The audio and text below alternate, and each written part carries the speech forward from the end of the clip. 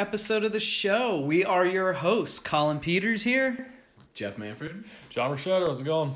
and today we are going to be talking about a very special classic back from the 70s. I believe this movie came out in 1975, and that is Steven Spielberg's Jaws. The first blockbuster ever. Summer block. Summer blockbuster, at least to coin the term blockbuster.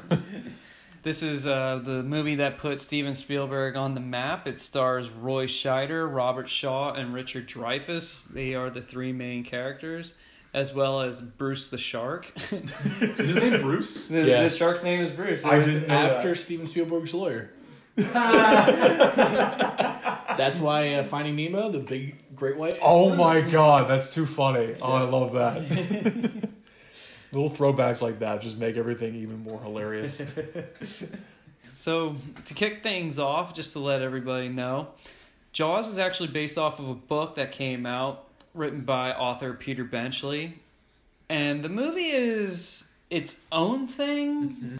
Uh, there are some major differences, like the the main characters kind of overtake the the threat of the shark. Really, it's just kind of there in the book Yeah. And it kind of i guess puts everybody together and the book the, the characters really aren't likable at all There's a lot of things that go on with the characters, especially with um, Hooper, played by Richard Dreyfuss. He actually has an affair with Roy Scheider's wife in Yes. the book. Yeah, there's an affair that goes on. Yeah. And Hooper actually, spoiler, Hooper dies in the book. He is actually eaten by the shark. yeah um, lorraine gary plays ellen brody that is roy scheider's character's wife. Roy scheider plays martin brody and he's a police chief on amity island which um, it, where, where's amity supposed to be? Amity in, Island in boston? It takes place in New York. And Lorraine Gary was actually married to the chief of Universal Studios at the time. oh yeah because they thought they um, there was like favoritism or something Favoritism, yeah. but She, they- she was actually married to the president of Universal at the time, and then she stayed with all the other movies. And they said she was actually a solid actor, and that's Oh, yeah. why they, mm-hmm. Mm-hmm, they let her on. She was like the only one to stay with the sequels because She was, Anybody else yeah. came back except for what? And- Roy in the second one. Jaws 4 was her last movie. Oh, yeah. it was her last movie ever, I think, too. Ever? Oh, wow. I think ever. Well, after that, I don't know. I mean, that train wreck, I mean, I don't blame her. and, and just think, Michael Caine is in Jaws: The Revenge. That was one of his paycheck movies. Yeah. Like, the, like the Swarm. He just he wanted to do this movie because he just wanted to buy a house. Yeah. I have not seen Jaws the Revenge, but I have seen the house it bought. Oh gosh. Oh man. Should we just dive into the synopsis? Yeah, go. Um, Jeff, John, whichever one of you guys want to take I it. I'll take over this time. Okay. All right. but yeah, Jaws the movie it came out in 1975. This was known as the first blockbuster. People actually lined up around the block outside the movie theater just to get an admission ticket to see this film. And it was a huge hit when it came out. It was Spielberg's second movie. He kind of had like an audition movie with the film Duel, and that got a lot of studios' attention because that was actually a TV movie, Duel. But then it actually got so much popularity on TV that actually got a limited theatrical release. Oh wow. Oh, I And didn't be- know that. It did get a theatrical release for a limited time, and because of that movie's success in the small time, he was able to um, convince studios to be the director for Jaws. And there were very big similarities between Duel and Jaws too. Mm-hmm. Exactly, like how he successfully made Duel, um, the truck being almost like the monster. Like the face of the truck is like a monster, and that it was this very suspenseful cat and mouse game, and it was back and forth, some really great adrenaline pumping stuff for a movie that came out in the seventies, and like Duel, making the truck an entity, he made a shark, a great white shark, an entity. And this movie, um, th- there was a book that was written about it, and I think it was based off of a situation that took place with a bull shark. Because um, it originally happened where there was an incident that took place, I'm not sure exactly where, but I think it was out I could be wrong, the Mississippi River, where a bull shark attack actually killed several people, and it was setting the town in a huge frenzy that they didn't know what exactly was going on, and more people started losing their lives until they finally realized the nature of the shark and they put it down, and then it kind of sparked the interest of a book. And I, I- think that's what led to Jaws, but they changed it to a great white to make it more menacing because a great white is twice the size of a bull shark. I had heard uh, Peter Benchley tell a story that I guess they not found an attack, but I think there was they just caught a, a great white shark that was like 25 feet, over 2,000 pounds. Yeah. And he said, yeah, and I think it was in New Jersey or some, or maybe maybe in New York. I don't remember for sure, but There's a lot of things that people kind of take claim, like we this incident started Yeah. Jaws or this incident started Jaws. It's kind of like going back and forth. like my dad's better than your dad. Right. but but yeah, I remember him telling a story. At least just if not an attack, just that this huge shark existed, and he said, "Wow, what if you know like one of these came in, terrorized the town, and just wouldn't go away?" Mhm, exactly. So then, the, really, the the premise of this movie, Jaws, is very simple. There is a huge shark attack that takes place. A girl loses her life in the in the opening ten minutes of the movie. She goes out for a swim, and then you hear. Once again, we're talking about John Williams. I mean, he's the guy, the amazing guy. This is one of his, I would say, top three scores of all time because it's so iconic. It's referenced in everything. Just the dun dun and you really don't. I mean, the audience already knows it has to be a shark because of the poster. They have to know what it is, but Spielberg does a great job in the opening scene of just like not letting you know or even see the shark. You just see the panning up through the water, and the girl being dragged in, she's freaking out, and then she dies. She's killed by the shark attack, and the town is kind of trying to keep this under wraps because even though somebody just died on their beach, and then there are smaller instances that are occurring. Um, another child then eventually loses his life in the movie, and then Chief Brody's trying to figure out what exactly is happening here because they're convinced that this is now a shark attack. And Hooper, who is the marine biologist, is convinced that this shark is not done. They actually stage a manhunt to go after the shark and they catch a shark, which is revealed to be a tiger shark. And he makes the claim because there are hundreds of species of sharks out there in the water, and the chance of anyone finding the right one is slim to none. And so it really just becomes a giant hunt for this great white shark, and it puts these three characters Roy Scheider, who plays Chief Brody, um, Richard Dreyfuss, who plays Matt Hooper, the marine biologist, and Robert Shaw, who plays a character known as Quint, who has a very rich backstory, and we'll get into that later. But these three are basically then hired to go out in a boat called the Orca to hunt and kill this great white shark that's terrorizing this town. The mayor is trying to keep this under wraps because he wants people to go out and have a, a celebration on he wants the people to take in the sun, the weather, the beach, the culture and everything. Well, even though people are dying. He relies on the the summer dollars to fuel the town's economy. Exactly. That's, that's this this is a beach town. This is a town that thrives on beach culture and people going out enjoying the water. But this movie made people afraid to go in the water, especially Oh, my, sure. especially myself when I first saw this movie. It is. I say, plus it takes place over Fourth of July week, so It's true. Yeah. so that's when obviously the most money's going to come in for him. So I could see why the mayor did it, but he still did a shitty job at you know protecting the people. He really did because he was looking out for his ass. He was looking out for just like his public appearance and just, I guess he was in denial. He was in a, really in a lot of denial about how this could be happening to his community. I don't And- even think it was denial. I think it was just like he didn't care. Mm-hmm. Like he really comes across as I got an economy to worry about. With Right. this I'm, I'm looking out for myself. And I guess, yeah, maybe it wasn't really denial because his family was kind of on the beach. He makes a, a point in the script saying, My kids were on that beach too. I'm a little freaked out too. But then the real core of the story is those three characters out in the Atlantic Ocean hunting down this shark, which is crazy because there are there I don't know how many sharks there are on the planet right now, but there are species, hundreds of species that exist. And like they caught the first tiger shark, um, the chances of them finding the one is very slim to none. But they're convinced that this is a super predator. This is a great white because of the bite radius, and they gutted the tiger shark and they found nothing because the shark has already claimed the life of the girl, the boy that was killed on the raft, and it sends this whole town into paranoia. But it's really about these three characters and um, their hunt for survival. And that's kind of really what the main premise of this movie is. Yeah. But like any like movie, you think that this would be about the shark. It really isn't about the shark. It's about the characters. And that's what the sequels got wrong. They just wanted to see the shark. sure, Yeah.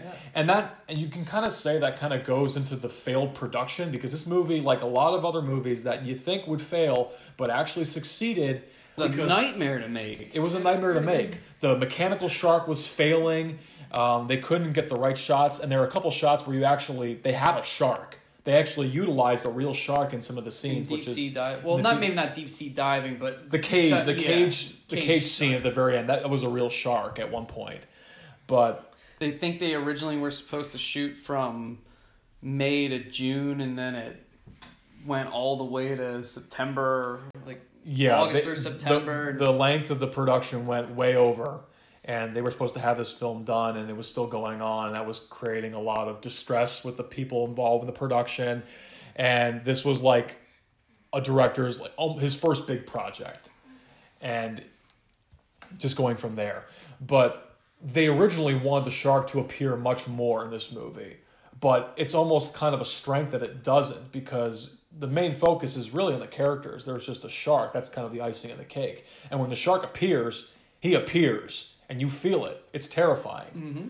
Especially when you just get little glimpses of him just gliding under the water and just sends chills down your spine. At least it did for me and a lot of other people as well. the music kind of became the shark in a way. Too. The music was yeah, yeah, definitely had a big a big part in it. Originally, Steven Spielberg thought that was a joke that John Williams did. Yes. Really? Yeah. He said it was it was too funny to fit it until he actually put it over top of what was in each frame, well, uh scene. He's like, that is the most terrifying thing I've ever seen. He just Yeah. played it on a piano at Yeah. first and said, "What do you think about this?" Don't don't don't don't don't don't don't don't. don't. Uh, yeah, he th- he didn't take it seriously, Oh yeah. and that's how the movie opens up. It's just a black That's screen, the and you hear the opening. dun Yeah. You're seeing the perspective of the, The shark, shark. underwater. Oh yeah. and that's the only time. Well, I shouldn't say the Couple only times, time, yeah. but a couple times. Yeah. Yeah. But it, it's kind of funny because it takes an an enormous distance for that shark too, because they're normally in South Africa, to migrate all the way up to the mm-hmm. the New York coast. Right. This shark has no business being out this Yeah. far, pretty much. Even though there are sharks around the area, but they're a great white, a big mm-hmm. predator like this has no business. And then it claims its territory yet, which is you, you can have it. Wasn't- wasn't really common then, but is common now. The great white is moving into the Cape May area, the Cape Cod area. Yep. Really? Okay. And then obviously Shark Week's going to tell you this, but Mark you can get all your facts on Shark Week when it comes out every August. We can thank this movie for Shark Week. no, Michael Phelps raced against a shark. it wasn't really racing. It's bullshit. Oh God. But that yeah, and then um, the hunt the hunt goes on for like the last I would say like forty minutes of the movie or so. Yeah, The pursuing roughly. of it, to trying to figure out because their boat is so small. And then there's the iconic line: "We're gonna need a bigger boat because It is like two separate movies in one. it is." You've got like almost an, I guess, a drama going on when you're trying to figure out what is actually attacking these people, and then almost a, a horror survival when they're on the boat trying to figure out how to stop this monster. Exactly, because the shark is only getting more and more territorial. They only have some. I mean, they have a few guns, but that's not enough to really slow and stop this thing down. Then they come up with the idea of the barrels. They're like, it's brilliant. That's actually that's in the book too, Yeah. with the barrels and how trying to slowing him down, putting a tracker on him to locate him, see where he is, and um, but then the boat proves to be futile as it just puts its whole body on it and the just shark jumps sinks up it. and The shark- smashes the boat, which apparently is true. Great whites can jump and and crash boats like that. Mm-hmm. That's been known to do that. They said they can also ram into them too, because their their their noses, I believe, they're called dorsals or is that just their fin? fins, Fin? dorsal Okay. fins. Yeah. But yeah, they can use their noses as rams and actually Mm-hmm. go in and hit. I mean, they can smell blood from a mile away, even if it's just, just like a couple drops. I Mhm. mean, these Oh, they're incredible creatures. incredible creatures. Yeah, these things are they lived around the time of dinosaurs. This this movie actually started my fascination with sharks. I think a lot of people. Too. Oh A yeah, lot of easily, people. easily. And when you think about it, it's actually kind of a dumb concept, really, because how often do you hear, "Oh, a movie about a shark is actually going to be interesting"? Right. But this movie, I mean, especially when you, if you want to watch the sequels or other, You can if you want, afterwards. but you don't have to. Yeah. You honestly don't have to. But I think three is probably the best sequel because it's probably the most ridiculous. it's literally SeaWorld and Jaws, all right? that actually could have been a. That actually is kind of an interesting premise. I will give it that, even though it wasn't handled I think if it wasn't called Jaws three, 3D. yeah, yeah, 3D. it- it's an '80s 3D, and it and you can tell. Uh, but um, they did have, oh gosh, the, the shark follows the the Brody family. Uh, why? That is, From New York. but Here's the real, original question I, I would have for the original movie: Why the fuck would the shark follow three guys on a boat compared to the food source at the shore? I said the same true. thing too. Like Yeah. in the movie, they make it look like the shark has a personality. Yeah. Like even at night, it knows it's at night, and they're like, "Oh man, these guys are still out here. Oh, I'm gonna crash into this boat, shaking around a Definitely, little definitely bit." Hollywood eyes the little Oh, bit. yeah. Especially, there's actually a really clever video that someone made on YouTube where uh, he edited parts of the film together to make it seem like some members of the crew were actually trying to be sympathetic and save the shark. Yeah, they actually did a really good job trying to make it seem as though with the dialogue that they were actually trying to like help the shark and not kill it. That was kind of funny, but uh, and then of course you know when, when we were talking about before when the shark actually lands on the boat, um, it kills Quint, which kind of has a lot of symbolic meaning with his back character. And then you know Hooper's still down in the broken cage as he tries to thwart the shark in another way, but he he breaks the cage open, and then Hooper goes in hiding. And then Chief Brody with that rifle and just like that weird angle that he's holding onto the boat. Smile, Smile, you son of a boom! Oh, then the big explosion, and then the very. And and what makes Jaws a really interesting story is the hero, Chief Brody, played by Roy Scheider. He's not really a hero character. Mm-hmm. He's not. He's, He's not your- afraid of water. Yeah. He's kind of uh, clumsy and nervous in a way. Right. Uh, These he- are your he- he average me- people. He he means well. He's the chief of police, and he doesn't. You know, he is there to protect people. Mm-hmm. But they're like the mayor. There is forces that are against what he's trying to do and what he's attempting to do, and he feels helpless at some points. Yeah. And when it is, does come time for him to go into the boat and into the water, he's he's a wreck. He's like, I really don't want to go, but Mm-hmm. he he feels a certain obligation to, He does. and it's probably he's got be- a job to do. and it's probably one because it's that, but also I I think the turning point was the third attack on the shore was on the Fourth of July, Yeah. And that was in front of everybody. There's no hiding it. There's There's no no denying it. Like literally, No. you saw this shark take that kid, and then no. It was the guy. The guy in the boat. It was Oh. the guy in the boat, and Brody's son That's was in the boat that makes got tipped about got over. ran, yeah. Because uh, people were in panic mode, they didn't know what to think when that boy was gone, and then the raft is chewed up. And Yeah. the, the woman knows it was a shark, and then she has that really devastating moment where she's in her funeral garb, slaps Chief Brody, saying, "You knew there was a shark out there, yet you didn't close the beaches, and you did nothing." Which is funny because in some ways I would have like turned to the mayor and been like, "You see, this is what you did." This is what you did. Yeah. so in reality, you're saying the mayor is the villain in this whole story, not the shark. The mayor is the villain. Yeah, you can see the mayor is a villain. Well, even in the book, he's kind of the villain because they said he's got mob ties, and that's why he has oh. to Oh. Yeah. keep the beach open because he owes them so much money, and he was going to take the money out of the town's real estate And there was actually- economic. in the second book, Jaws 2, that's like actually after the shark attack, after the shark has done its damage, the town of Amity is dead. In the second book, it should like that's not what the that's not what the, the second movie did, but in the second book, the mob takes over everything. Like this town is decimated from like the tragic uh, shark attacks that have happened, and then the mob actually takes over. in the second. But that would have been something I would have liked to have seen in the second movie, but Oh, that's yeah. not what happened. You instead, know, you get a rehashing of the same movie from the first time, but instead it's a bunch of kids on a boat in a lighthouse. honestly, Yeah. I think what would have made a better sequel would have been the three guys Quint, Hooper, and Brody. I don't think. I mean, yeah, the, the shark kind of steals the show, and that's the focal point. It became the focal point. But but I think you know this is one of the very rare cases, and there's quite a few people out there who do say that the movie's actually better than the book, and I agree. The Mm-hmm. ending of the book is a downer. It, it, it doesn't have the climatic ending. It's it's basically kind of the same thing. Yeah. Hooper dies in the cage, Yes. and then the shark jumps up on the boat. Quint is harpooning the shark in the stomach to try to kill it, but the rope from the barrels wrap around his leg or his ankle, so, yeah. and the, as the shark gets off the boat, it just drags Quint into the water and he drowns. okay, And then That's what happens, the ship sinks at like uh, an incredible fast rate Mhm. that most ships don't normally sink at. yeah, And then since Brody can't swim, he just holds on to a, a life preserver of sorts yeah.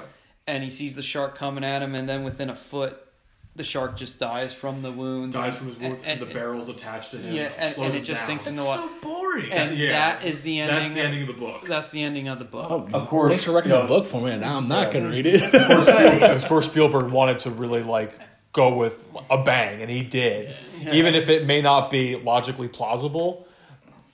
He his excuse was, "I have them wrapped in my fingers for two and a half hours. They'll believe anything I throw at them." Yeah, And here's a funny story too. I believe that was the last shot of the movie, which is very rare. But they said that because they got so behind in production that they Mm-hmm. filmed everything on land okay, first and got all that stuff out of the way. makes sense. Because the ocean, because they really shot in the Atlantic Ocean.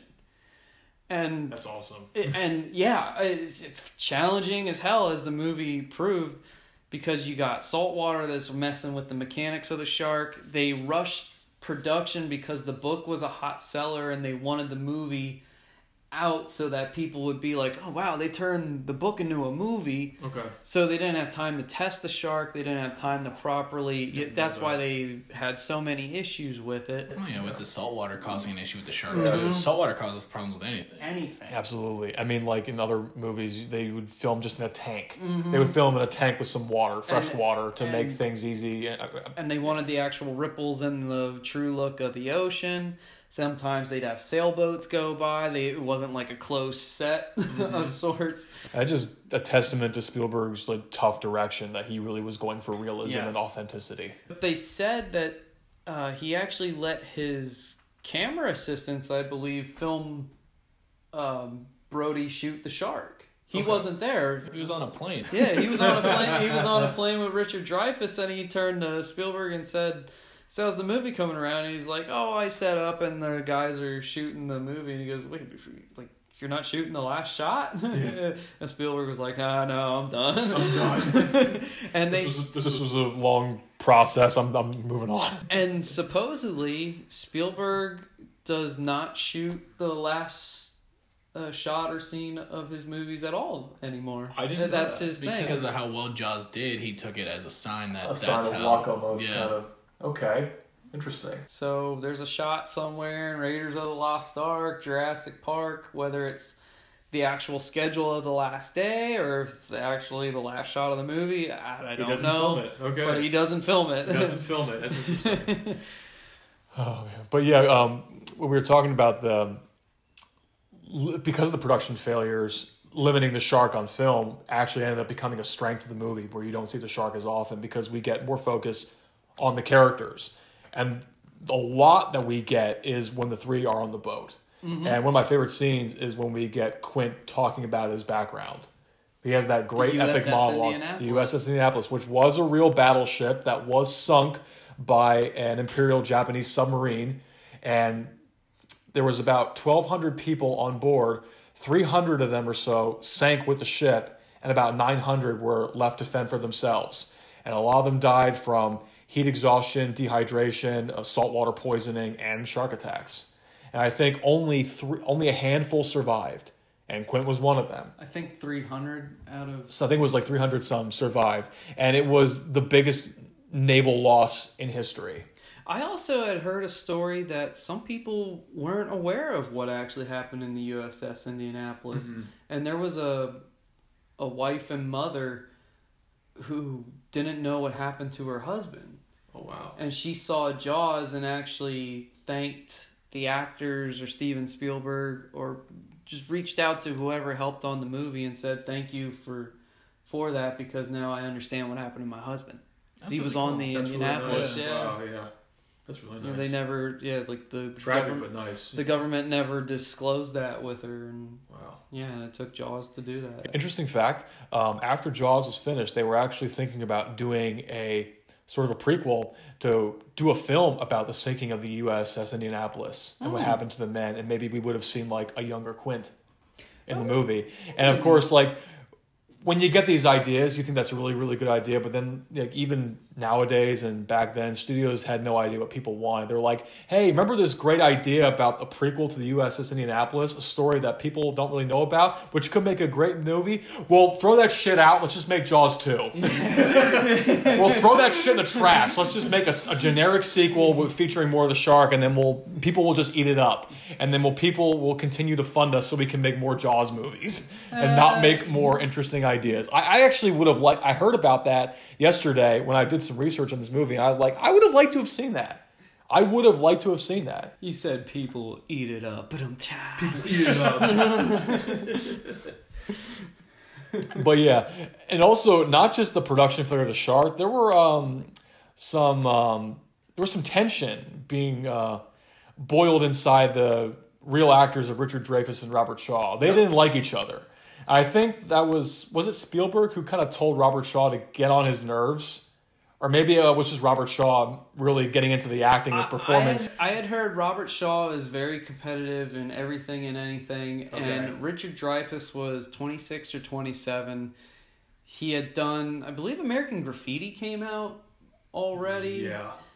Did Close Encounters of the Third Kind come after mm, Jaws or I before think that Jaws? came after Jaws. Came after Jaws. But he was in a movie that he he originally didn't want to be in Jaws. Okay. Richard Dreyfuss.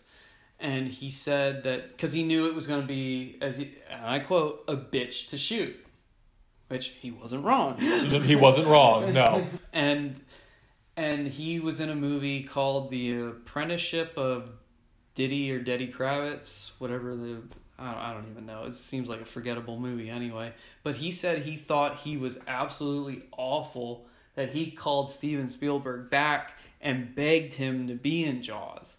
Oh, okay. And I guess when he- they were filming Jaws, that movie came out, and with all the problems and stuff going on, he would actually say things like, I shouldn't even be here. I should be promoting my movie, having tea, and being at Hollywood parties and stuff like mm-hmm. that. And Robert Shaw was a guy who went through the ringer and who's also a big, intimidating guy. Yeah.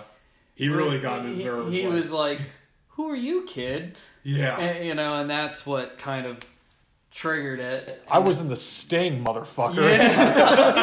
I can't. I was a Bond villain, you ass. Wait, he was a Bond villain? Russia with Love. Holy shit! He was the main. He was the main guy. villain against Sean Connery in that movie. Damn, Oh, yeah. that is badass. he was. He was Russia's answer to James Bond, basically. Mm-hmm. Yeah. Well then, Yes. Check it out.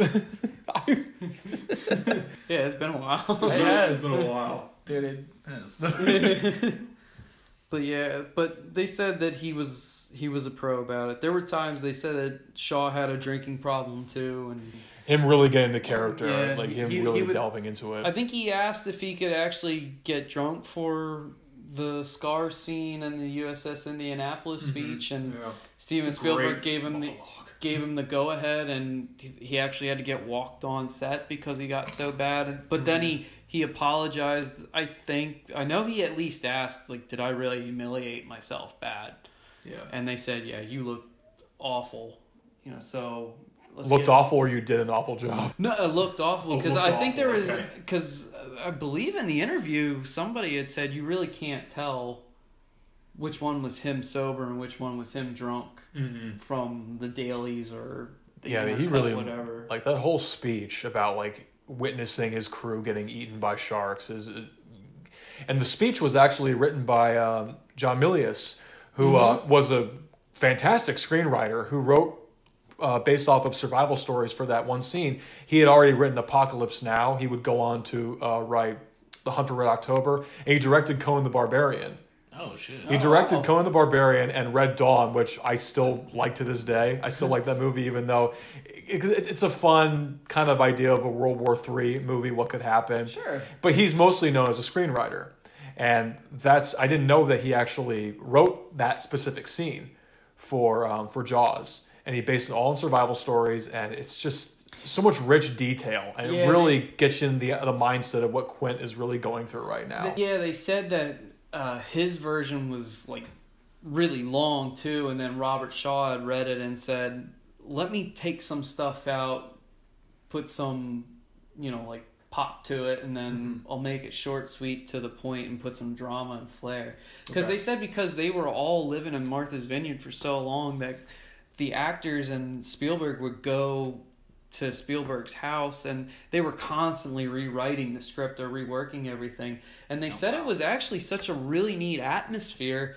because as they were rewriting stuff, the actors were there and they'd say, Well, how about what if my character would say this or act like this? And then that would make the writing go a little smoother. And it's like, okay, yeah, you, you know what, you would. Or yeah, I'd bounce back off of that mm-hmm. and that's a really creative environment. I'm sure that also helped them stay a little sane to go, okay, this movie will work because Yeah. you you know for a fact that you know Universal's going, why are we over budget? Why is this taking so long? It seems like n- nobody. It's like a manager who's telling you to work harder and work better at a job where you're in manufacturing or something and your equipment's constantly breaking down and you're like look what do you want me to do you know Yeah. my equipment's not getting fixed and this is all I, you know i'm supposed to be like you know, like building a, a machine here and all you give me is a hammer and a screwdriver you know it, it, it's, and and it's like i don't care just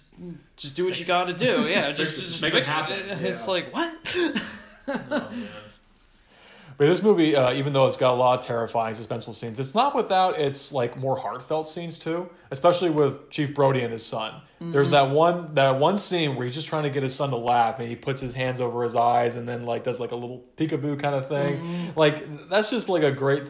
Uh, and that's right after he had the slap yes. Yeah. and he feels the guilt of the kid dying Yeah, that's Steven Spielberg's directing like really coming to fruition. Like it's mm-hmm. like every every movie out there, every great movie has a mixture of a lot of things. Like even Schindler's List, a dark, tragic movie, has like one or two subtle bits of comedy. Not about the Holocaust, but just about like certain moments of dialogue with like the soldiers and then, you know, them being being complete asses and then like uh, Oscar Schindler calling him out and it's it's kind of a funny scene too. Only like not very much though, but every movie has a little bit of everything. And this movie has a little bit of comedy, a little bit of drama, a lot of suspense and horror and heartfelt touching moments. The- I remember Spielberg saying that it really wasn't supposed to be a horror movie. People classify it as a horror movie, but he said it's really a sea adventure. It is a suspenseful sea adventure thrill ride. It's a summer mm-hmm. thrill ride like we were talking from the very beginning. Oh yeah, it is. And they said that when this movie came out, people just kept on going to see it again and again and again. And it really mm-hmm. is one of those go-to movies. Like if you want something on, Yeah. I feel like you can just this is one of those movies that you can just put on. You can just and, put it on. and, Doesn't it, and it just works. Oh yeah. Like And you it- can put it on during Christmas and people will still be like, "Yeah, man, Jaws is good." Don't watch Jaws: The Revenge during Christmas because that place that movie took place during Christmas. Oh, it Oh, did. yeah. Oh yeah, it did. and, it, and it was a terrible idea, but that's what happened. But yeah, like we said, like you can watch this movie at any point, and it still holds up to this day. Yeah, Even it- even with like. You can tell what's the mechanical shark and what's the real shark that was put in. If Mm-hmm. eagle eye viewers can check that out, like, oh, that's real, that's a machine. But even then, the movie still holds up very because it doesn't use any special effects. There are no special effects. It's it's really all authentic, which is why it still holds up, and it's still terrifying to a lot of people to this day. Oh, for sure. And all you need is that music too. Mm-hmm. All you need is the music to get people just get suckered in. And that shark, even though it's fake and you can tell definitely tell it's fake nowadays, it was still terrifying as hell to to see. Like especially Oh, when the yeah. first time when you see it, it's it's still underwater and it's coming up to that guy that he tipped over in the boat Uh huh. and you, you just see like the white underbelly and the mouth and it just grabs him and drags him down Yeah. and then you just see that quick pop up and the mouth is just like grabbing the guy as he's screaming He's him still and, screaming and the blood squirting and it takes him down oh yeah, it's and then i found this really scary stuff. um, when the boy the second victim alex kintner dies Yeah. there was actually supposed to be more of the shark scene Okay. and then this is what the picture is here Almost kind of looks like a little bit of a Photoshop, but that's what actually. Wow. We, we have an image popped up right here, and for anybody who wants to see this, just Google Alex Kintner death from Jaws, and you will see the image of. I I think this was a dummy shot, and the shark coming out of the water with its mouth open, ready to chomp down on the boy, and it's a terrifying image. Yeah. I mean, it, it is way more frightening than. Oh, oh my gosh. God, It. Especially it's done in like the black and gray. Mm-hmm. Old timey. Oh yeah, Yeah. That's, that's that's really really something. I mean, you looking at this, you think that's a real shark. It's. A, Oh, the details that were given to the shark. Oh yeah, absolutely. Almost kind of reminds me of like that one image of the surfer going through the wave, and then you can see like the shark's shadow in the wave. Kind of, it kind of it, it two different photos though, but it kind of gives me the same chill and suspense. Mhm. It's it's a very terrifying image, and it, the the movie was great at building suspense, but they also give you like some lighthearted moments. And the other thing too is for anybody who goes fishing, you, you have your good days, you have your bad days, you catch something, you don't. These guys are making a point to try to catch this Yeah. shark. You get the guys with their wife's roast beef, and then they put on the meat hook, and they just send it out in the water. but That's when you realize the size of that shark. When it tears that dock in half and then starts pulling it. and the strength that it's like you're going up a a beast of nature. and that's what he is. He's a force of nature. oh, for, for sure. Yeah, this this is this is what the shark is. Absolutely. I gotta say, when they, when they catch the tiger shark, I don't know who this guy is, but he gives me a crack every time when uh, who they're asking like, "What kind of shark is this? The one we just caught? Tiger shark." A what? I wanted that guy to be in every single Spielberg movie in the 80s. Like when Indiana Jones is talking about this is the Ark of the Covenant. The what? I wanted him to be that guy. Like it's a velociraptor. A what? You want me to do what? I wish he was in like all other Spielberg movies. Same outfit though with the hat. Same outfit with a hat and, and the same the same reaction, the same line delivery. If he had done that, I would have lost my shit. Could you imagine him in Indiana Jones in the Temple of Doom? Kali Ma, Kalima. what? The what? As he rips the dude's heart out. Oh, Yeah, then he runs the fuck out. oh my god. Oh jeez. I think those were actually real people that lived in that Martha's Vineyard. I think it had to have been. Yeah. I think they said they did use a lot of people. A lot of local and extras. Yeah, that that makes sense. Once you oh, deliver these lines like this. That's good. That's really good. Oh, oh my god. Oh what? I get um that a lot of not just not just the the great white, but also even like the dead tiger shark. That has a lot of good detail to that shark as well. Oh yeah, I thought it was real. I thought it was real too. Well- I'm like I'm sure animal rights activists would have come down hard on them if that was a real shark because Well- sharks are kind of they're not on the endangered species list, but there's a lot of red tape right now Yeah. with with them. No, right now. I mean, what was it like in? But that was in the seventies. I mean, Yeah. yeah. But now the sharks are there's not there's not as many of them as there used to be. These things are freaking dinosaurs. They were in the same time as the dinosaurs. Oh, yeah. Oh yeah. Well, they're still wondering if megalodons still exists. We don't know because they're deep oh. sea. Don't, don't, don't. We're We all- already talking about this shitty Jaws: The Revenge. We don't need to bring up the Meg. Too late. The You, Meg. you just did. So we opened the door. Oh, and then when that scene where like they just have the shark and they just like you could just Hooper just like gutting that shark and just like foul smelling and just like ripping out like Oh yeah, the, the, the license plate and like He didn't eat a car, did he? no, they're because sharks are some sharks are bottom feeders. They'll just eat anything. Mm-hmm. Oh yeah, They, that was the other thing about the movie. For as suspenseful and scary as it could be, it had a lot of really good, funny one-line quips to Mm-hmm. it too, and that's what kind of I don't want to say kills the mood, but lightens it up a bit. Where you, you're kind of like, oh, well, I guess it's not so bad now. You know, they're on land, they're cracking jokes, but it, it really is a a whole new territory once the three guys get in the boat Oh yeah. because Yeah. you're in the sharks domain and they make it look like they're out so far in Mm-hmm. the ocean where there's no help they're isolated it's just Yeah, them the ocean and the shark and you don't know where the shark is you know where it's gonna pop up it's like at the end when that boat sinks it's like brody sees the shark in front of him as he's shooting at it yeah. but what if the shark would just like go underwater and he's like, what the heck? And then boom, just pops up underneath it. Hey, game over. Eh, Yeah. Oh yeah. Oh, absolutely. That's the end, man. And, uh, did they ever mention how far away from land they are?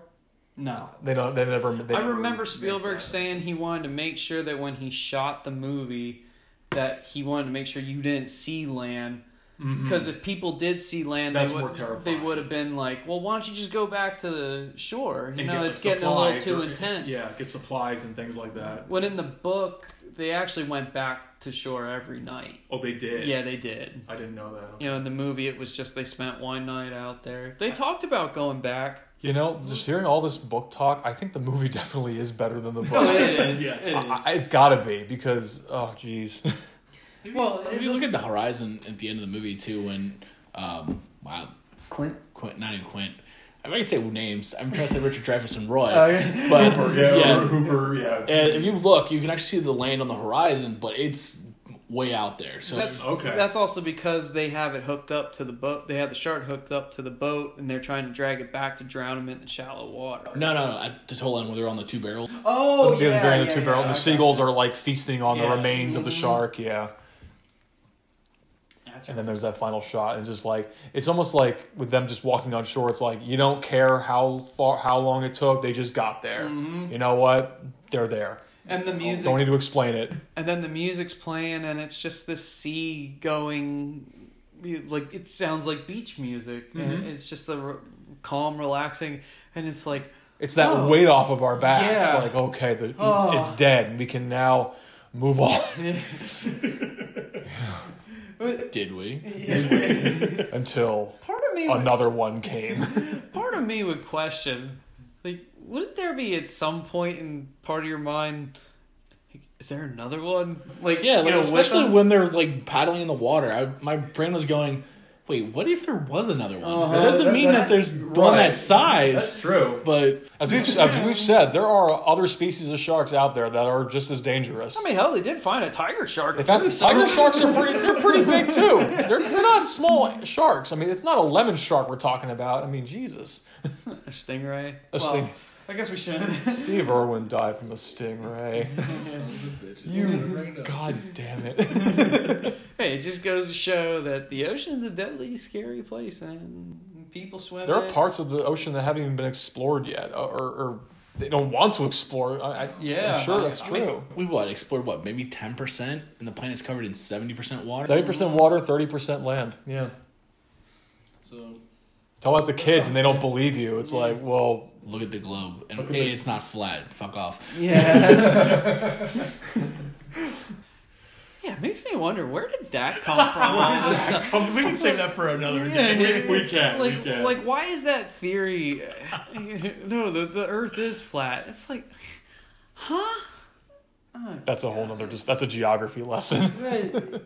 They also need to learn their lesson in physics too, because I mean, shit would just fall, you know, mm-hmm. and just crash. Yeah. Ugh, I gotta say, like with the ending though, because uh, I did watch this episode of MythBusters where they actually they proved pretty much like ninety percent of the movie is all bullshit. yeah, it's the Hollywood treatment, but people don't people don't care because like it's it's epic and it's suspenseful as all hell. But like they actually tried to set up a dummy shark like in a pond, it was bigger than a pond, but like they tried using the same rifle? Like did it how did how did the air tank the gas tank explode in the shark's mouth killing it? Did they have to hit it from a side? Did they have to hit it dead on? And even if you hit the if you hit in the good spot it's just gonna like push the uh, the gas tank even further down the shark's mouth and it would probably still be alive It just- or it, it- wouldn't do anything. It- the bullet would re- just ricochet off. The, the tank would just react like if you blew up a balloon and you didn't tie it and you just let it go. yeah That's it would just But- go. Everywhere. But then just for a laugh, they just they brought him like a high powered rifle and they shot it and it exploded. like if you had a high powered rifle that was like a Dragunov sniper rifle, it would have blown up into pieces. But that's not what he had. He had like a thirty odd six or something. and if there was C four on the tank, Right, a C four dynamite. You know, oh god. I would have rather watched that ending where it, it was like a balloon letting it go and just watching the shark get out of the water and flapping in the wind on the way out. right. Could you just see like? Oh my god. Another. Could you see Brody's face? Like, what the hell? like all its teeth are getting knocked out and they're flying. That's all it took. yeah, I could just see Brody like with like the people's eyebrow, like, huh? Is the shark having a seizure? right, right, right. There was another inconsistency, like when the shark like breaks through the glass, and it, it's like trying to get Brody inside the boat, and then people, some forgiving fans, have been saying, well, it's just kind of, it's kind of uh, letting itself go and going backwards, but sharks can't swim backwards.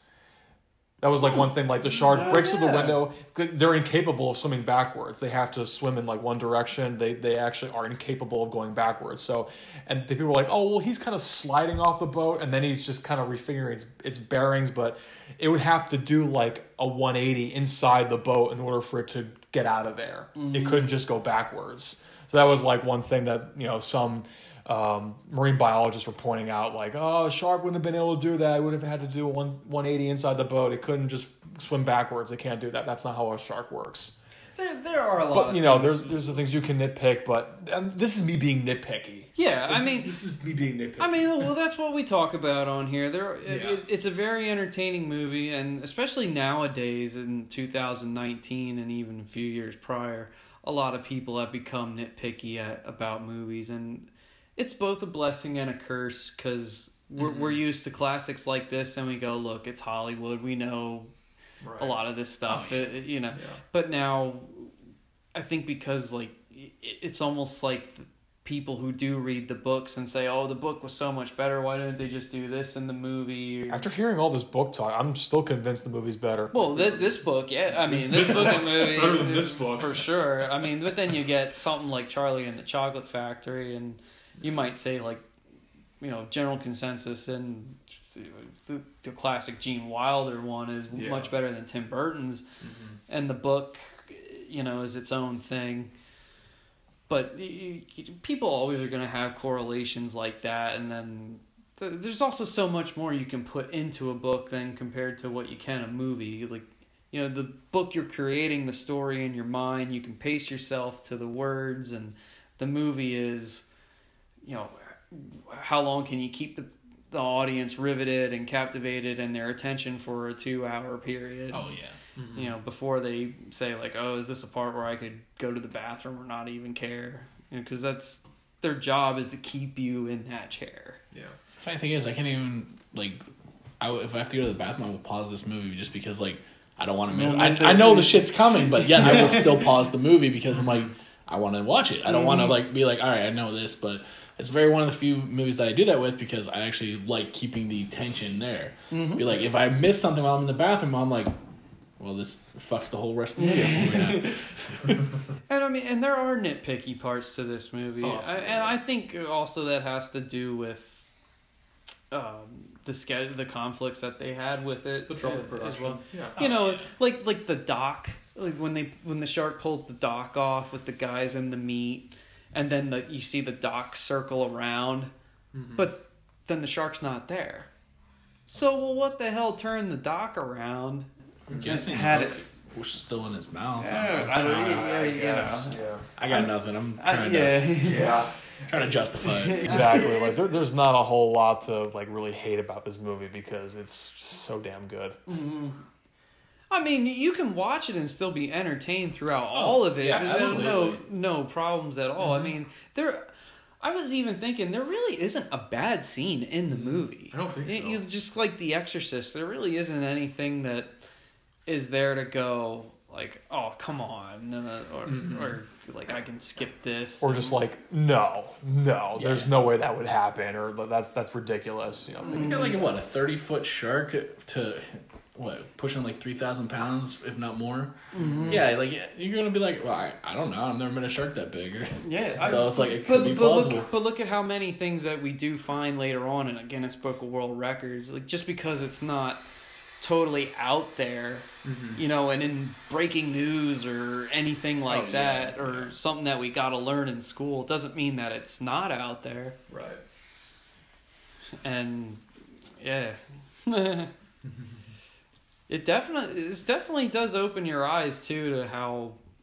It, it, it, just think about this too. We also said great whites are usually from South Africa, Mm-hmm. and we hear all the time that there are shark infested waters, and then there are waters where they're not. And then there are those people who say, "Oh, I swim in this ocean all the time, and the sharks don't come in there." But then there's that one day oh yeah, where a shark still comes in there. Yeah. And it's like, hey, that's a warning. I always looked at things like this. The ocean is the home for all these sea creatures and they're, you know, that's their domain, that's how they survive. I mean, like fish need the ocean to survive. Mm-hmm. Oh yeah. And how would you feel if like random people came into your house? How would you react? That's pretty much what we as people are doing with them in the Yeah. ocean. Mm-hmm. And we know the science behind a shark. They swim, they eat, they procreate. yeah. Yeah. Very simple. You know, they don't they don't just randomly attack. That's the other thing. You know, they said that most of the time you could probably swim by a shark and it will leave you alone. Yeah, I don't recommend you actually do that. Don't put that to the test. Yeah, but- no, I mean, I'm not gonna go into the Baltimore Aquarium and say, "Oh, I'm just gonna go swim in the shark exhibit because With a white tip shark and Yeah. a tiger shark, you know, I'll be fine. Yeah, you know, I mean, ugh. I go, A, you're probably getting arrested, and B, you're probably getting arrested. you're gonna get a probably good chunk bitten out of you, especially if it's feeding time. yeah, no thanks. Uh, not gonna. oh, that scene where they dump all the chum and all like the bloody fish heads in the water. Um, And he's not even realizing just chucking that shit out, and then also, I know. That's when you really get like the first. It's at that point. It's like, like the movie is already like halfway through, and then we finally get to see the up close image of what the shark looks like head what on. a scene that was. That was so good. Like the, the chum and the blood and Roy Oh, Scheider. Uh, that just that wah, Yeah. and then Roy Scheider just nailed that. Jumps up. Holy shit! It makes me wonder if that actually wasn't supposed to happen like that. Like the shark malfunctioned just enough to shoot out. I don't know. Because it seemed like don't more genuine than a, just an act. Uh, it is, it is a cutaway shot though too. It's- yeah. So, I mean, unless that was, I I didn't hear any stories about if that was like an accident or if anybody tried to scare him for real. Mm-hmm. They did say that the "you're gonna need a bigger boat" line was him ad libbing. yeah. That was an ad lib. That was a nice ad lib too. Very Yeah. good ad lib. It's Something one of the most that's not- iconic lines in the in Heck cinema yeah. history. Eh, yeah, both like the most iconic lines from the movie are from Roy Scheider too. Seriously. How is it that the 70s, they must have done something to just get everything right? The 70s was just like the time period of all these. And you could argue that time is the reason why these movies are so Well, great. I think it's also because they knew movies were a business, but the people that the directors and creators who actually were behind it cared about the art. Mm-hmm. You know, like now you were saying earlier about the practical effects, like they tried to do it as real as possible, Yeah. so that it It's made it feel realism- real. That realism. Yeah. and that's one reason why it holds up. But it, it's kind of like the same thing with the music business today. You know, it's and what is it that Eddie Izzard says? It's eighty percent how you look and like 20 ten yeah. ten percent how you sound, and ten and another ten to like how you present yourself, and and that's why you get all these musicians and certain actors that you know, oh, you're pretty, okay, Yeah. you know, they'll take that over somebody who will actually act and Right. you know and and now you, you get so many people who do independent movies too and think that it'll just reach a box office and they'll make it dirt cheap and Yeah. Mm-hmm. if That's it- when it, that's it- when it becomes more about the art and not so much about the budget and the profit. Yeah.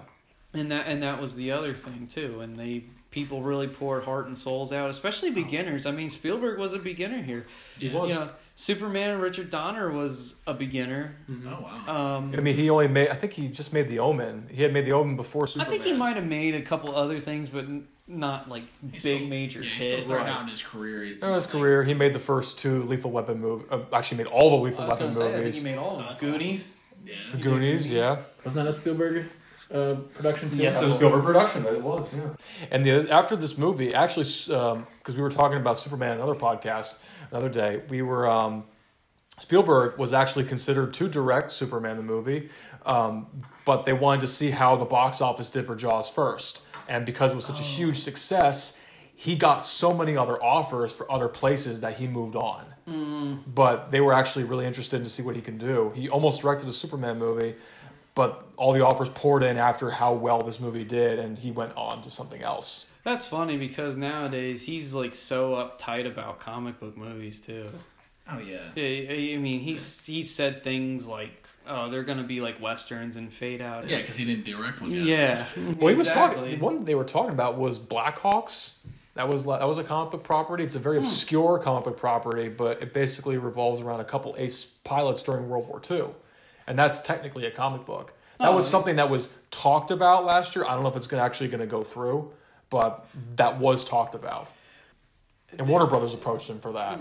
I think another thing about comic book movies that have these guys held at a certain uh, issue standard of sorts is um, they, they don't get that freedom to do the movies that they want to do anymore because the comic book frenzy, if you will, is such a big thing right now that they know studios know that they'll make money and that's what they want to do. So a Spielberg could go up and say, "Hey, I want to do like whatever and it'll be great. And they're like yeah but you know we'd we'd really like to yeah, like do a Rorschach spin off of Watchmen or something you know and he and he was like ah, I don't know if I want to do that even Ridley Scott I think was another one who's got issues with comic book movies and He, I think he did too. but He did. Uh, fucking Alien and uh, oh fuck is that? Blade Runner? Yeah. Blade Runner. But they became comic book properties. I think like Dark Horse wasn't Alien wasn't always a Dark Horse property. I think it eventually Dark Horse I think just maybe got the comic book right got rights to do Alien for a comic book series. I think that's how it happened I'm not sure because I, think Alien's the whole original idea. yeah I don't think that was ever a comic book property. No, the book's were better than the movie on that one though, Okay. Really? because they're actually very similar. So it's like they're both. It's just the ending's the difference. Okay. Hmm. Interesting. Yeah. But yeah, I mean that's a, that, but that's another example though of like it's not that true. it, it's okay to do that, and, it, and this is based off of a book. Mm-hmm. Yeah. But but a comic book is like oh because that's the craze or we can't do it. Y- y- Look how many No books take were actually yeah. yeah. Look how many books are actually based or movies are based off of books. We were talking about Watchmen not long ago. That graphic novel is still being talked about in college universities about a depiction of what World War III could be like, with this Well- idea of like grounded superheroes Well- throughout time. Um, there's also a story about a producer. His name's Michael Uslan. He was known for getting the first Batman movie going. Mm-hmm. He actually got credited while being a student at his college university for teaching a comic book class. Mm-hmm. And at first, his dean said, "I'm going to turn this down. You know, comic books are fun, cheap, junk entertainment." Right. And he said, "Well, what if I convince you that they're they're more and they're not?" And he said, "All right, give it a try." And he said, "Are you familiar with the story of Moses?" And he said, "Yes, I am." Well, can you describe it? Uh, well, chosen son, uh, to survive was put in a wicker basket, sent down the River Nile, and becomes a figure and leads the people out and saves the day, pretty much. And he goes, "Okay, well, are you familiar with the origin of Superman?" There you go. and, you he go. said so you see the influence to Yeah. it and he actually credited his his course That's, That's so- actually really that's that's a good story. you know so in a lot of ways you know comic book stories and characters could essentially just be the same thing. I mean like Oh, yeah. talking about alien. Hmm how is that really all that much different than jaws? It's not. Because- even even didn't they say back then alien was basically jaws in space? It, They did. Because Ridley Scott took the Jaws approach by not showing the xenomorph so often, and that's what made it all the more terrifying. Oh yeah, it was just like Jaws. It was unprecedented. We had never seen anything like this before.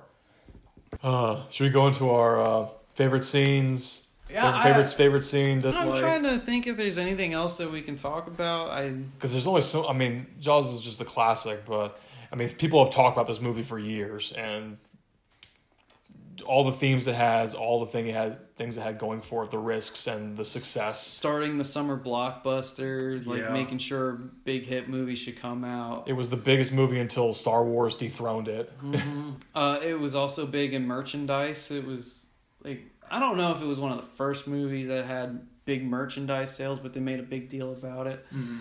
And it, it started. It was a pop culture reference Yeah. too. It wasn't just like I remember watching that '70s show, and you guys know we used to watch that show religiously. Yeah. and they covered like all sorts of major grounds in that show that was pop culture references from bands to movies and one thing that they didn't mention was jaws Really? in that show Right. yeah the, i don't i don't recall them mentioning jaws hell in detroit rock city at the beginning of that movie they show the poster They of showed the Jaws jaws poster. Yeah. Yeah. because it's like it, it takes place in the 70s it was a big in- pop culture thing Oh yeah. they and they did say that people became more aware of sharks and more aware of the water and the ocean then Mhm. and hell they Universal Studios had that awesome ride.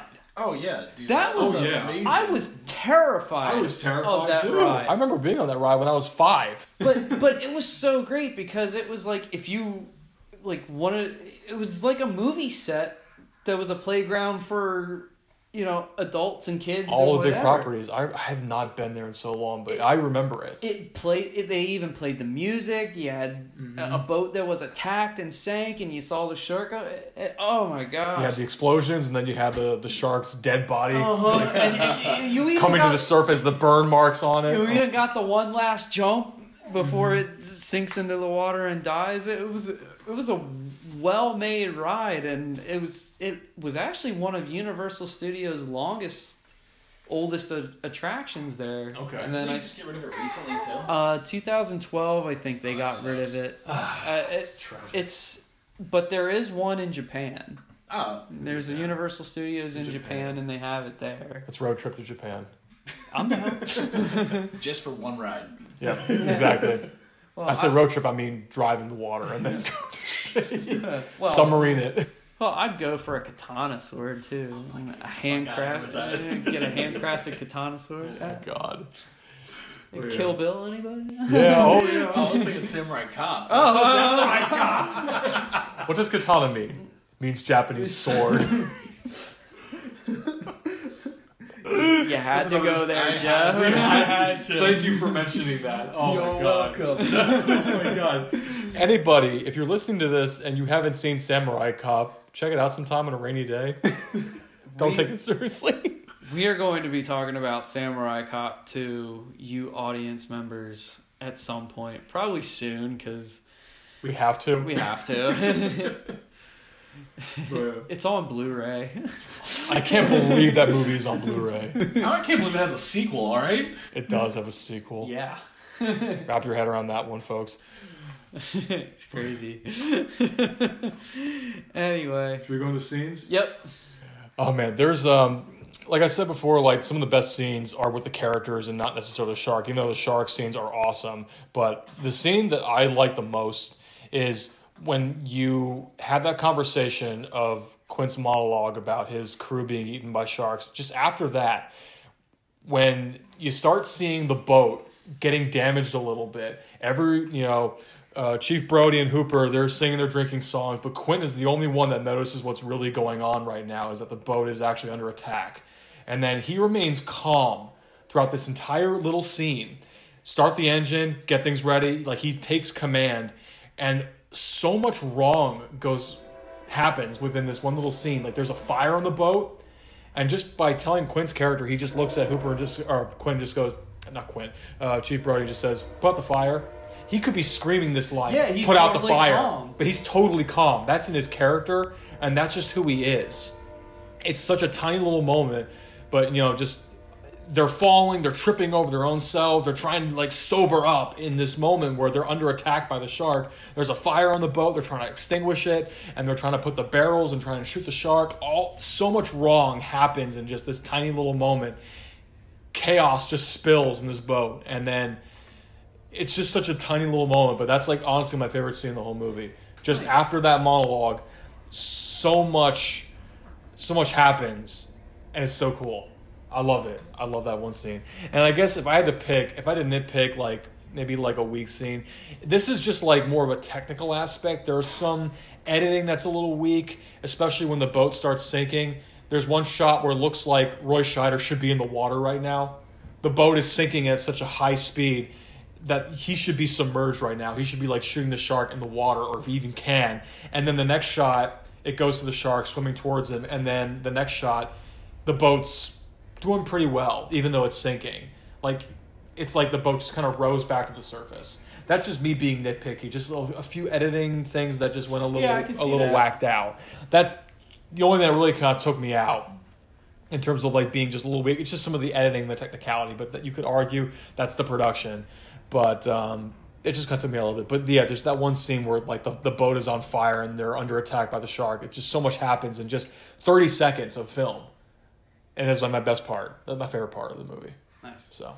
You get a takeaway from it?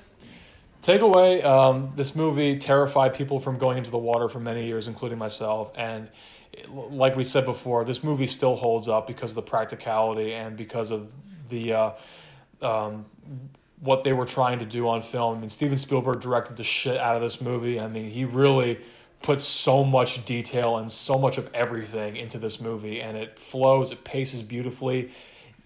You can watch it at any point, and there's a reason why he is the master of cinema. Even to this day, he's still making great films. Most directors would have aged out or tired out by now, but he's getting with the times, still making movies with great production value and great mm-hmm. special effects and good performances, finding all these nuances. There's a reason why he's the master of cinema. I agree. Yeah. Jeff, you want to go? This is gonna be a hard one because there's actually a couple scenes I really enjoy, but the one that actually stands out the most for me is when they're sitting on the beach right after the initial attacks, and um, you watching. He's watching the water. He's watching his kids play, and all of a sudden that one kid on the raft gets attacked. Uh, what's his name? Alex Kinger, Klinger, Kintner. Kittner.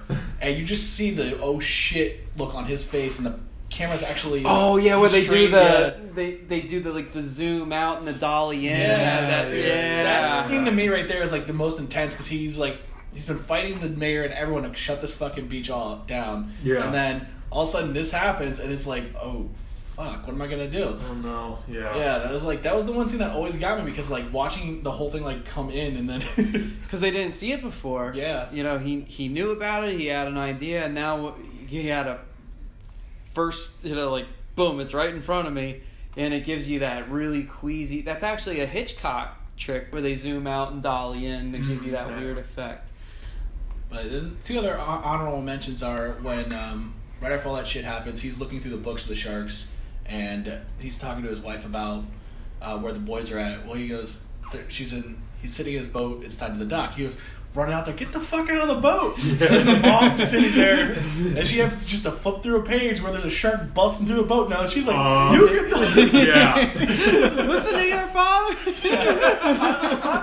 I'm like, There's a co- there's that comedy scene. Uh, And then the last one is the shot when the orca's going out of the bay. It's through the um, window and actually goes through the shark's teeth. The boat is. I'm like that Yes. shot right there. Mhm. is so yes. memorable. I'm like it's probably like one of the coolest shots that they put in the movie. So I was like, I'm wish they would have used it a little more often. yeah, Yeah. yeah. so we're so used to the picture of the shark. Why don't they just use that? Because you're getting both of them, the orca and that. hmm Least favorite scene? Honestly, I really can't think of anything. Like, There's not See, there really Yeah. isn't. There really isn't much. I went to nitpick, and I'm like, I can't even nitpick. I'm like, gotta shrug my shoulders on this one. Yeah. uh, what's your takeaway from it? honestly just a really enjoyable movie. I, s- like I said, it stands out, but there's some dated stuff, but obviously it's gonna happen. Mhm. But other than that, I fucking love it.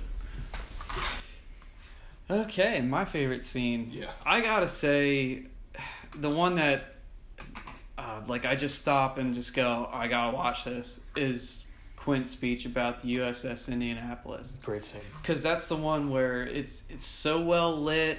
It's got this really nice music that it really takes you away from the the fact that they're out for the shark Mhm. and Yeah. all the past stuff. It's like you finally get to know this crazy guy that they're on this adventure with, Mhm. and part of you kind of has to say like. Like, can I get off this boat with this guy? Oh, yeah, you know, right. he's, if he's in charge of this roller coaster, uh, maybe I made a mistake of coming Right. on here. And then he he's telling all the stories and how it's basically mentally scarred him. Oh, it has. That's, Yeah. that's I can see why anyone would be drinking during this moment. and and all the the like the the detailed description like he knows like he actually looked into the devil i- i- him Shark's itself eyes, when doll's yeah eyes. lifeless biting into you. Yeah. like he knows how how these are you know he knows how are. sharks operate and what their their goal is. And how he's lost friends he's lost comrades Mhm. probably you know he's probably a soldier at one point and didn't know what he was going to do except Yeah. be a soldier in his life and Mhm. now he's this fisherman that part goes of his- after sharks it's Yeah. almost like that was the start of a new mission for him in Mhm. life Yeah. Yeah. Also looks like he came full circle after talking about the story about the sharks, and then Y- Literally and then the by- He yep. gets eaten by the shark. And, and then even at the end of the scene when he's telling the whole story he puts a smile back on his face and says hey well we delivered the bomb and the rest is history yeah, Yeah. And I gotta say, you really gotta mention some of the other classic scenes that stand out for favorites. The shark jumping up on the boat. You, you, you, that's another scene that I think people gotta stop and go, "Whoa!" You know, that's just an incredible scene. They can do that. That's how they get their prey. They'll jump out of the water and just their mass bringing the prey down, And- killing it on impact. and Oh, yeah. and seeing it in a movie and how Quint Quint's struggling to to stay up on the boat and Brody can't save him, It- and then he's giving him a fight even though he's getting bitten in half. It's Mhm. he's going down swinging no matter what, Right. And with the mechanical shark and stuff, it's really something cool to look at. I'm sure it was something back then because.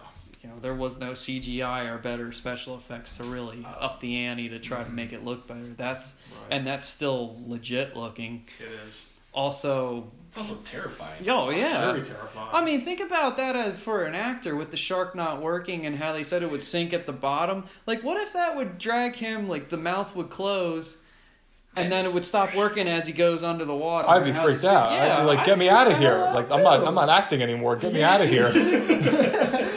I mean that that was just, that's scary. I mean, when Roy Scheider's just staring the shark down when it's coming right at him, and the shark's the one that's coming at him, Yeah. and he's sta- he's just on that mast with the gun shooting the shot. It's the biggest fuck yeah moment. Oh yeah, totally. And the shark just like slowly going down. You hear that dinosaur growl that they used for for Duel when Yeah. the truck goes down. It was that Mhm. same dinosaur growl that Yeah. they said. yeah.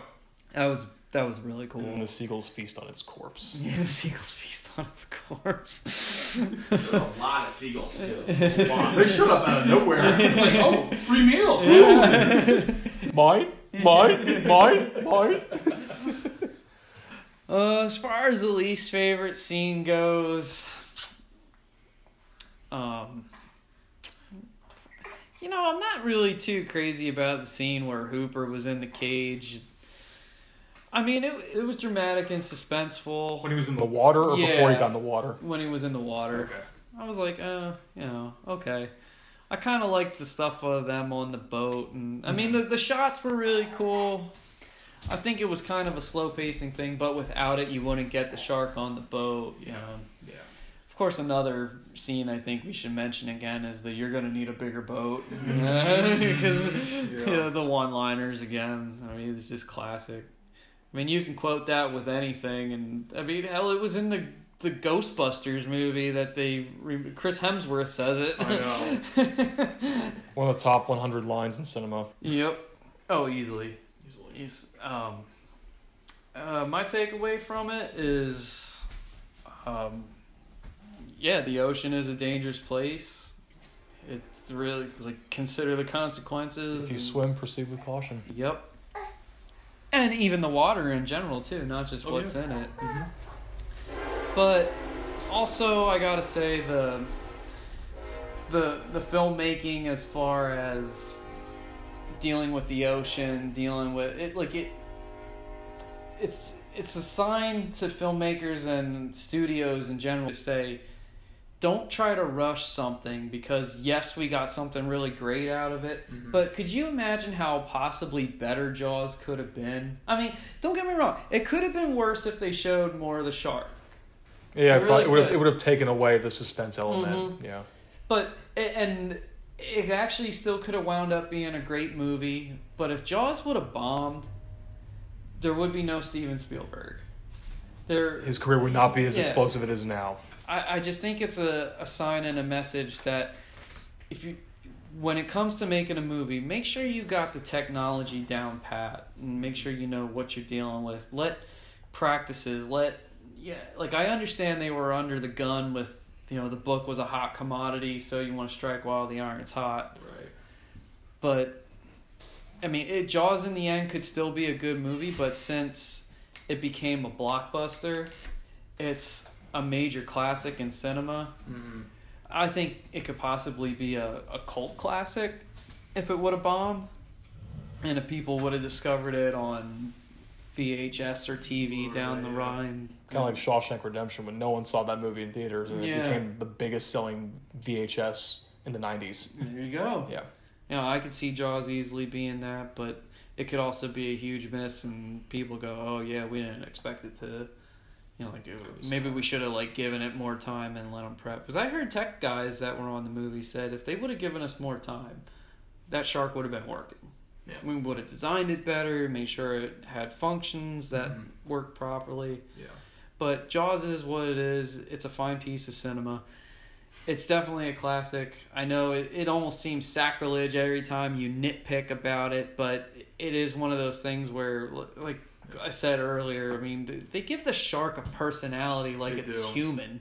Yeah. It's like, hey, I know you guys. Like Brody's on the mast, and the shark is chomping at him, like, hey, come on down here. I'm gonna get you, bud. Uh-huh. You know, I know there's three of you. It's like, dude, you can't even count. so, uh, uh, yes. Guys, have anything else to add? I think we've said No. what we needed to. That's pretty much not much else we can say. We like we got through it. We able like yeah. Yeah. we go.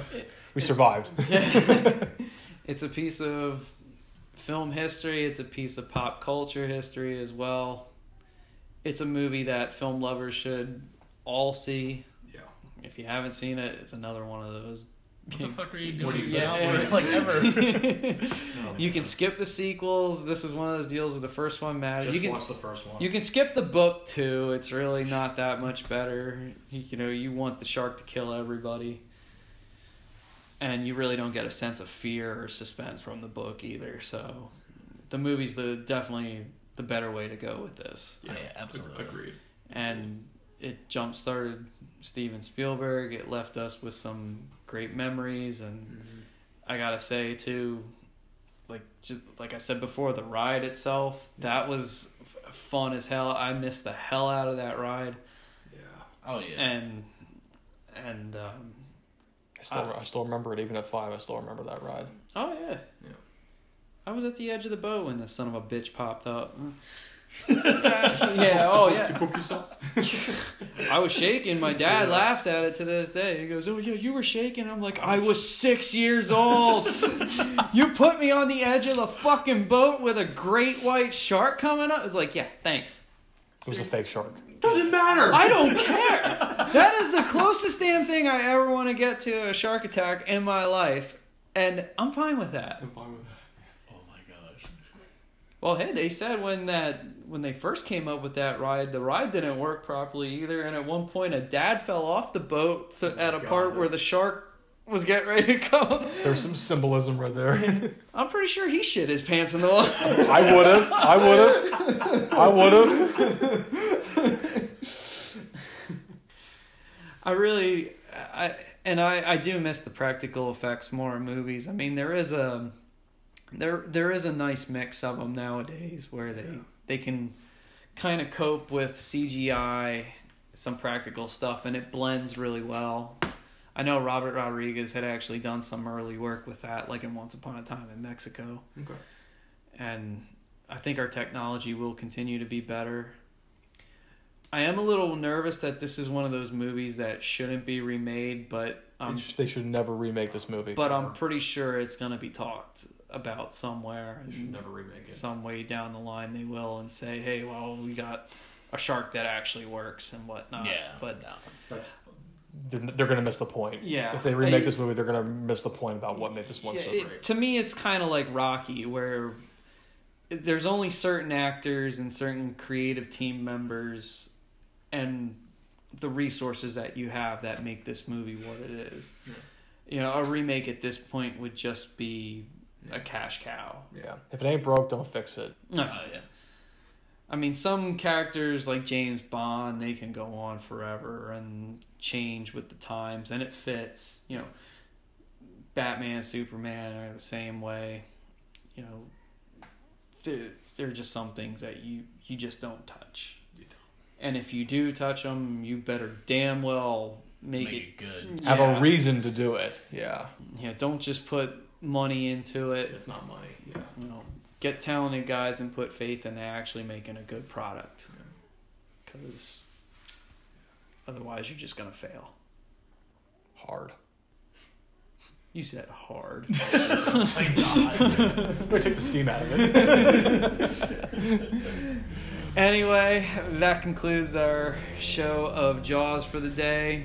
Thank you all for listening, and Thank you. Smile, you son of a bitch. Boom. and in case if you all need some advice in life when things get you down, you're gonna need a bigger boat. Take care, everybody. See you. See ya. Uh, please, somebody help me.